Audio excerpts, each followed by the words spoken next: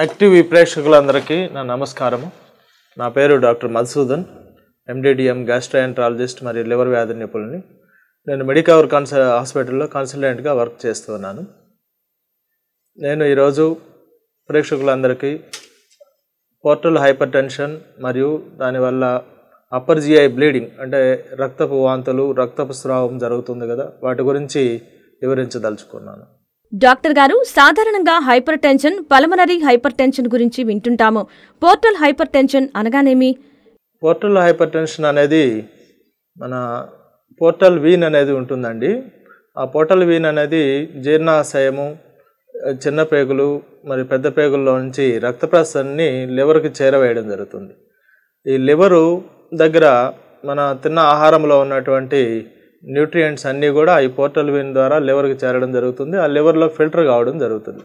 ఆ లివర్లో ఫిల్టర్ అయ్యే దగ్గర ప్రెజర్ అనేది కొన్ని కొన్ని సందర్భాల్లో పెరగడం జరుగుతుంది. ఆ పెరిగినప్పుడు దాన్ని పోర్టల్ హైపర్ టెన్షన్ అంటాం.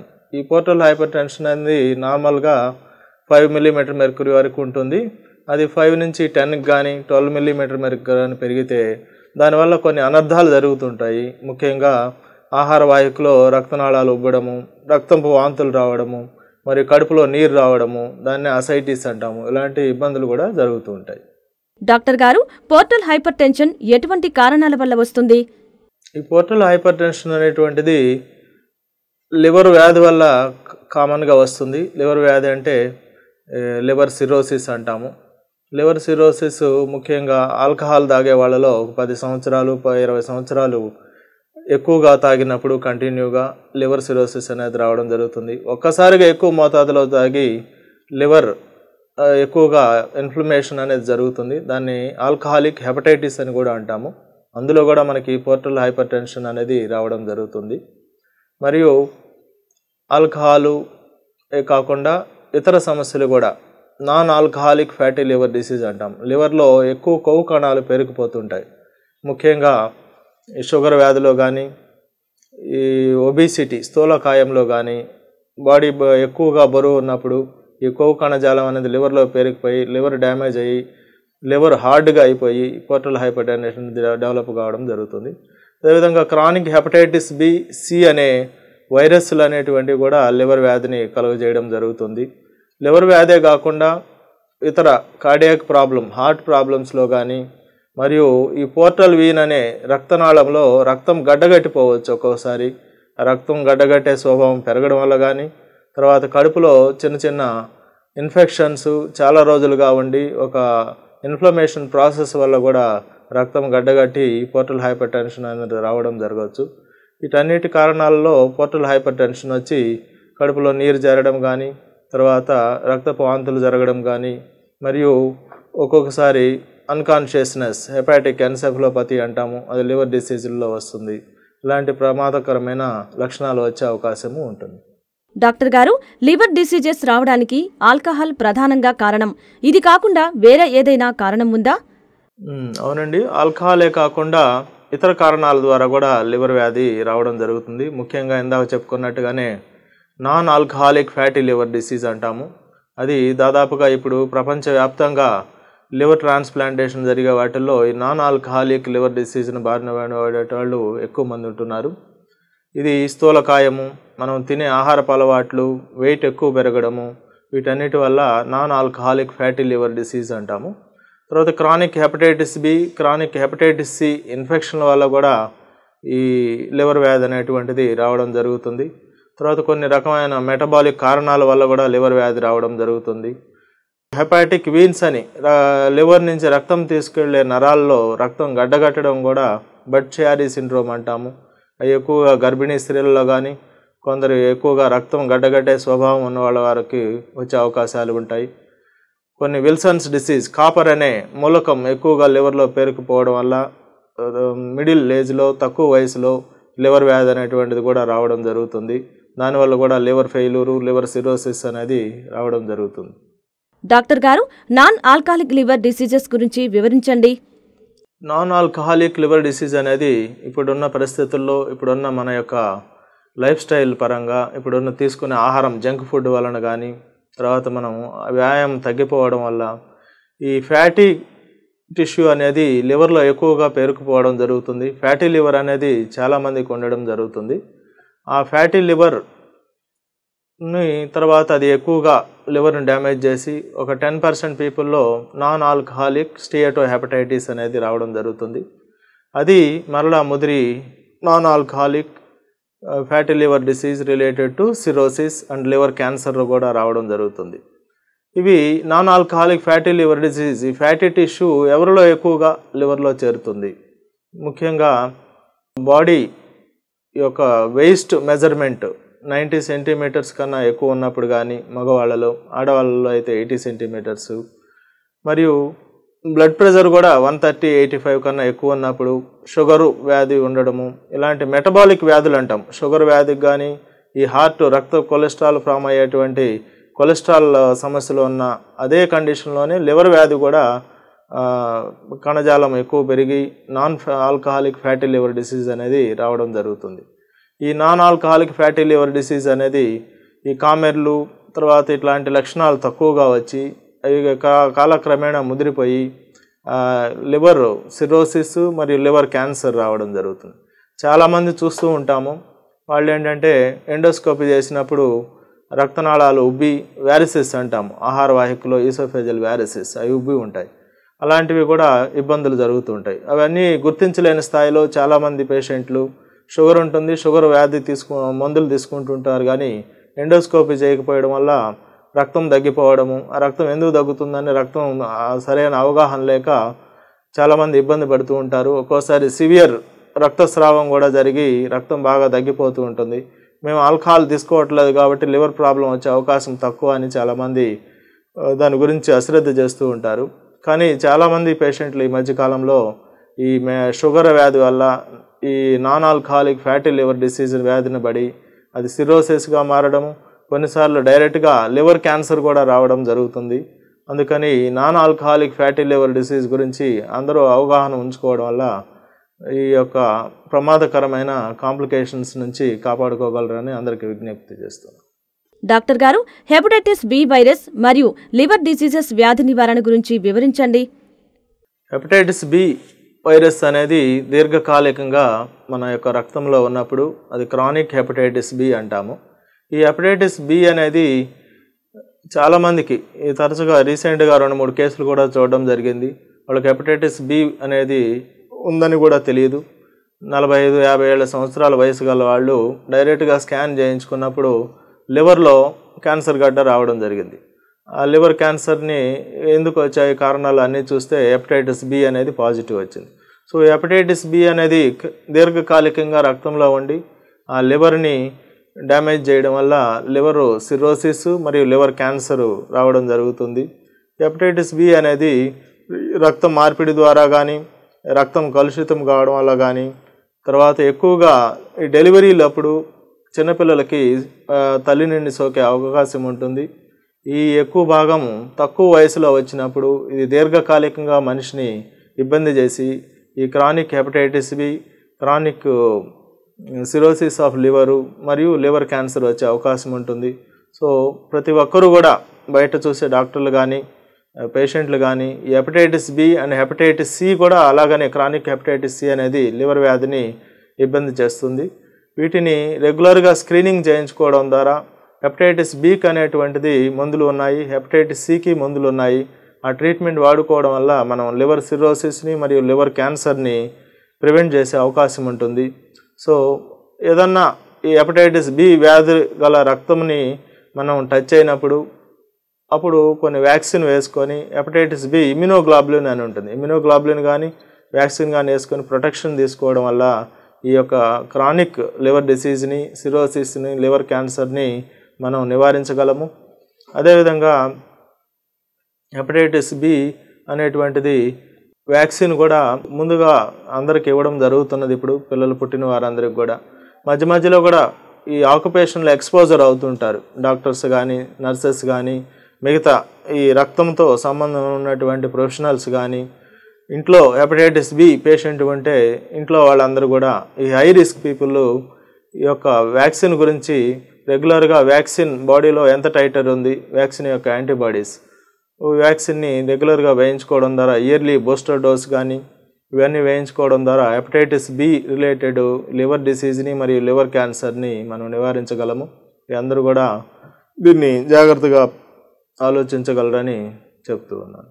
డాక్టర్ గారు లివర్ క్యాన్సర్ లివర్ డిసీజెస్ వచ్చిన తర్వాత వస్తుందా? లేదా ముందుగానే వస్తుందా? దాన్ని ఎలా గుర్తించాలి? సో లివరు క్యాన్సర్ అనేటువంటిది దాన్నే హెపటోసెల్యులార్ క్యాన్సనోమా అని కూడా అంటాం హెచ్సిసి అది ఇప్పుడు కూడా ఇంతకుముందే చెప్పడం జరిగింది. లివర్ క్యాన్సరు లివర్ వ్యాధి లక్షణాలంటే కామెర్లు పచ్చకామెర్లు దాన్ని జాండీస్ అంటారు. తర్వాత కడుపులో నీరు రావడము అది సిరోసిస్ వచ్చినప్పుడు కడుపులో నీరు వస్తుంది అసైటిస్ అంటాము. ఆ లక్షణాలు లేకుండా కూడా డైరెక్ట్గా లివర్ క్యాన్సర్ వస్తుంది. కామన్గా ఏంటంటే సిరోసిస్ వచ్చి ఆ సిరోసిస్ అనేది కొన్ని సంవత్సరాల తర్వాత ఫైవ్ టు టెన్ ఇయర్స్ తర్వాత లివర్ క్యాన్సర్గా మారే అవకాశం ఉంటుంది. అలా కాకుండా ఈ హెపటైటిస్ బి అనే వ్యాధి కానీ తర్వాత ఈ non alcoholic fatty liver disease ఇందాక ఏదైతే చెప్పుకున్నామో షుగర్ వ్యాధిగ్రస్తులు మరియు వెయిట్ ఉన్న వాళ్ళకి బీపీ ఉన్న వాళ్ళకి ఈ యొక్క ఫ్యాటీ లివర్ డిసీజ్ వస్తుంది కదా. వాళ్ళందరికీ కూడా ఈ యొక్క జాండీస్ రాకుండా తర్వాత కడుపులో నీరు లేకుండా లివర్ సిరోసిస్ లక్షణాలు లేకుండా కూడా లివర్ క్యాన్సర్ వస్తుంది. ఎందుకు తెలుసుకోవాలంటే విషయము చాలామంది ఆల్కహాల్ తీసుకోవడము అదర్వైజ్ కామెర్లు వస్తేనో లివర్ ప్రాబ్లం ఉంది లేకపోతే నాకేం లేదు కదా అనుకునే అవకాశాలు ఉంటాయి. సో అప్పుడప్పుడు స్క్రీనింగ్ స్కాన్లు చేయించుకోవడం ద్వారా లివర్ క్యాన్సర్ని ప్రాథమిక స్థాయిలో గుర్తించి దానికి అత్యాధునిక ట్రీట్మెంట్లు చేసుకునే అవకాశం ఉంది. ప్రస్తుత రోజుల్లో లివర్ క్యాన్సర్ ట్రీట్మెంట్లు చాలా అడ్వాన్స్గా డెవలప్ కావడం జరిగింది.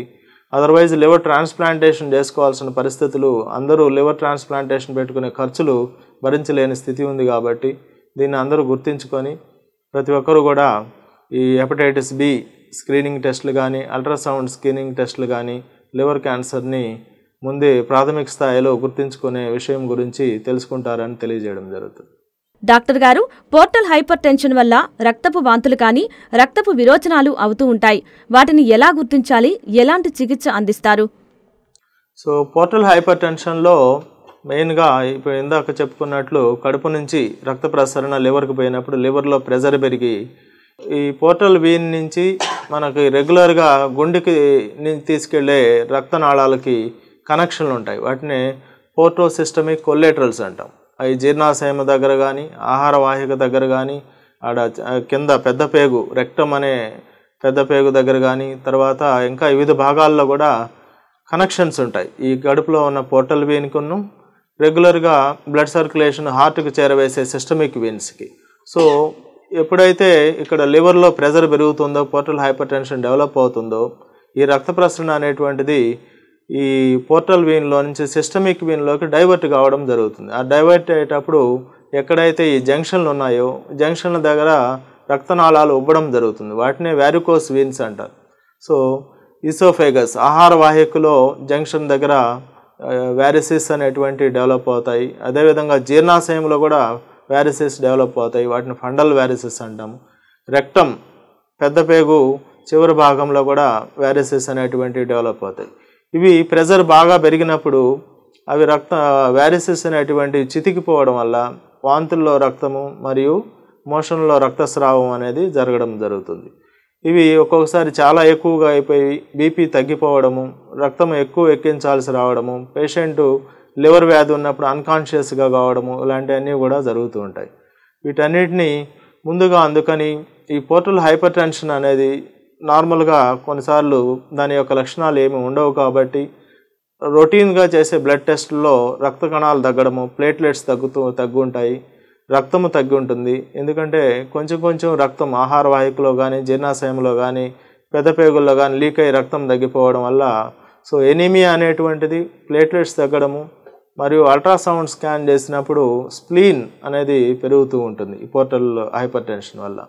ఇలాంటి లక్షణాలు ఉన్నప్పుడు మనం ఎండోస్కోపీ అనేటువంటిది చేయాలి. ఎండోస్కోపీ చేయడం వల్ల ఆహార వాయుకులో ఆ యొక్క వ్యారిసెస్ని గుర్తించవచ్చు. ఈసోఫేజల్ వ్యారిసెస్ అంటాము. అదే జీర్ణాశయం స్టమక్లో ఫండల్ వ్యారిసెస్ అంటాం. వీటిని ఎండోస్కోపీ ద్వారా గుర్తించినప్పుడు వాటికి మందులు ఉన్నాయి. తర్వాత అవి ఎక్కువగా లార్జ్ వ్యారిసెస్ అంటాం. బాగా ఎక్కువగా ఉబ్బి వాటి మీద ఎర్రటి చుక్కలు అలాంటివి హై రిస్క్ వ్యారిసెస్ అంటాము. అలాంటి వ్యారిసెస్ ఉన్నప్పుడు వాటికి డైరెక్ట్గా ఎండోస్కోపీ చికిత్స అనేది చేయడం వల్ల ఎమర్జెన్సీ రక్తస్రావం మనం ఆపి పేషెంట్ యొక్క కండిషన్ని ఇబ్బంది పడకుండా చేయవచ్చును. సో దీన్ని ఈసోఫేజియల్ వ్యారిసియల్ లైగేషన్ అంటారు వివిఎల్ సో ఆహార వాహికలో ఉన్న వ్యారిసెస్కి ఎండోస్కోపీ ద్వారా మనం చికిత్స చేయడం అనేది జరుగుతుంది.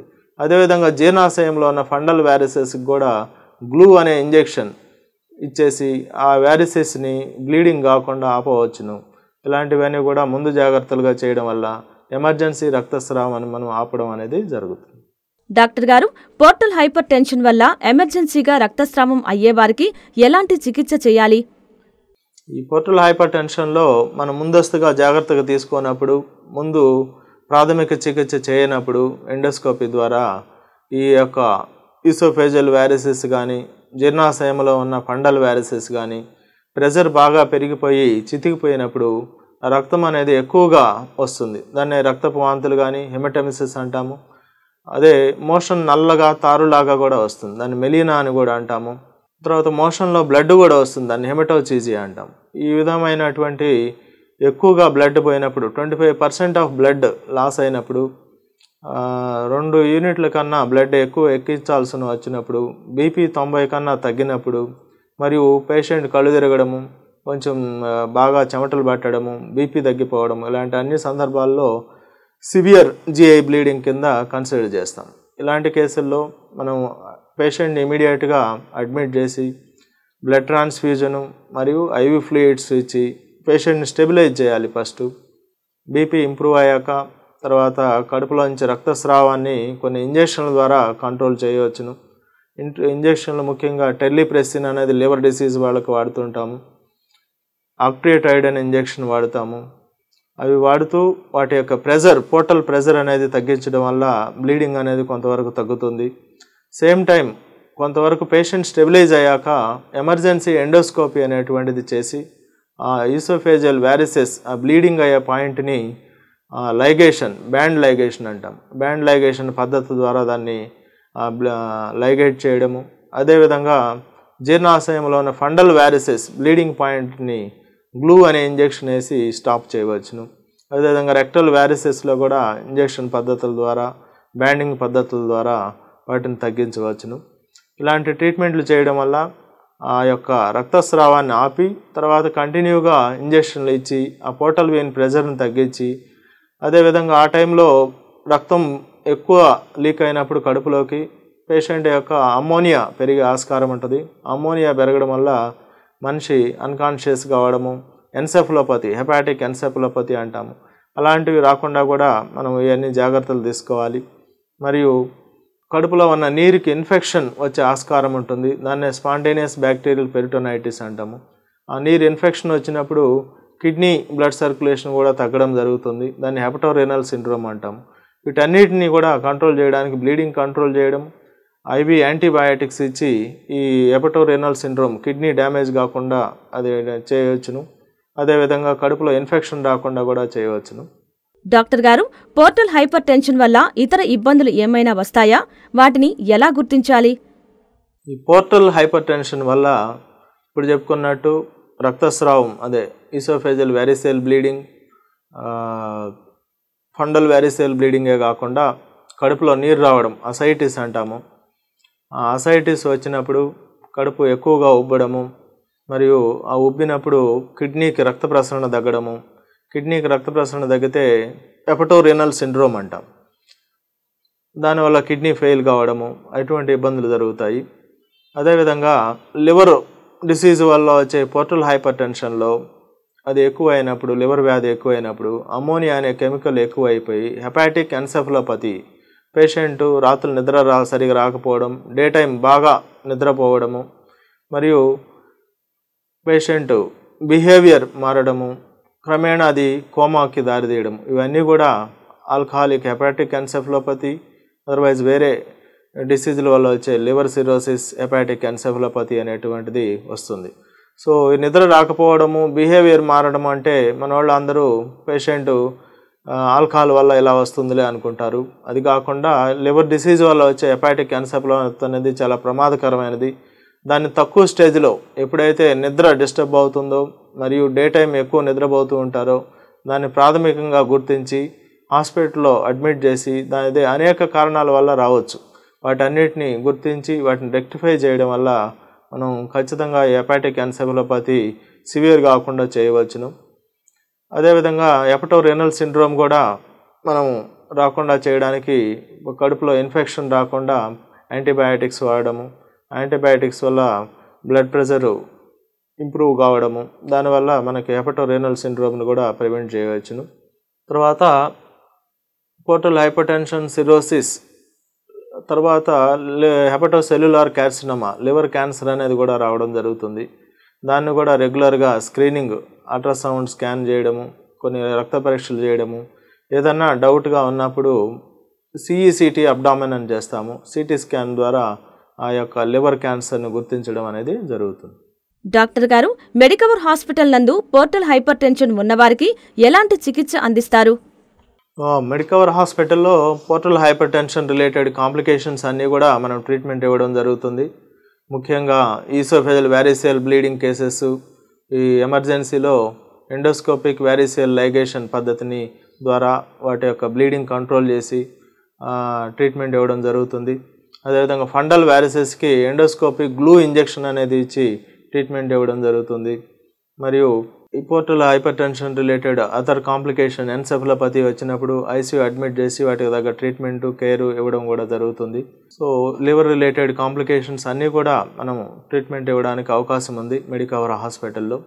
తర్వాత ఈ మెడికవర్ హాస్పిటల్లో ప్రస్తుతం ఈ పోర్టల్ హైపర్ టెన్షన్ ప్రాథమిక స్థాయిలో సిరోసిస్ ప్రాథమిక స్థాయిలో చాలామంది పేషెంట్లు మిస్ అవుతారన్న ఉద్దేశంతో మనం ఒక గ్యాస్ట్రో ప్యాకేజీని ప్రొవైడ్ చేసి చాలా తక్కువ అమౌంట్లో పదివేల రూపాయల ఖర్చుకి మనము త్రీ ఫోర్ థౌజండ్లోనే గ్యాస్ట్రో అండ్ లివర్ ప్యాకేజీని చేస్తూ ఈ ఎండోస్కోపీ చేసి ఈసోఫేజల్ వ్యారిసెస్ని ఐడెంటిఫై చేయడము వాటికి ఎండోస్కోపిక్ వ్యారిసెల్ లైగేషన్ ట్రీట్మెంట్ ఇవ్వడము ఇవన్నీ కూడా సదుపాయాలు కలుగు చేస్తున్నాము.